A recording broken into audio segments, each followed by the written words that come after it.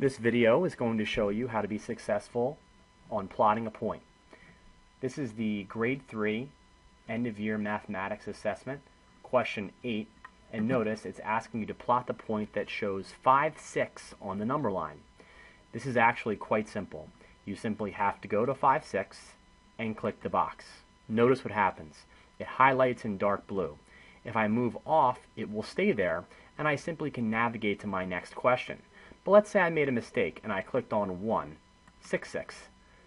Oh, I made a mistake. I simply go back and I have to re-click on the correct box. That's how simple it is to navigate plotting the point.